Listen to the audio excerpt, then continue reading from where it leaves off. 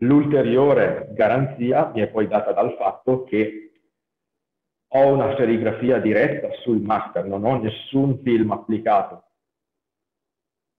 Quindi, per forza di cose, se il supporto costituito da, dal, dal materiale del master si è leggermente modificato per effetto della variazione di temperatura, la serigrafia si è comportata nello stesso identico modo.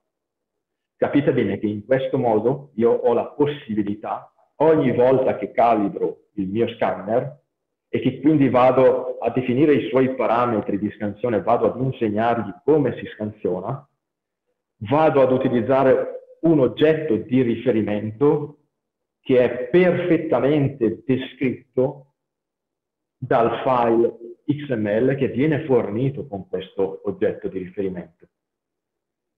Ed ogni possibile imperfezione legata al fatto che viene calibrato a temperature diverse viene compensata dal software che prima di tutto è abbastanza intelligente per farlo e seconda cosa lo fa assumendo delle ipotesi che poi sono effettivamente rispettate quella fondamentale è che tutta la superficie del master sia alla temperatura, sia alla temperatura uniforme che è quella dell'ambiente.